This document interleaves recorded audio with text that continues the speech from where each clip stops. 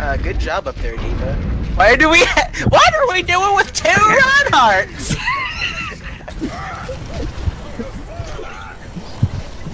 oh, that was perfect!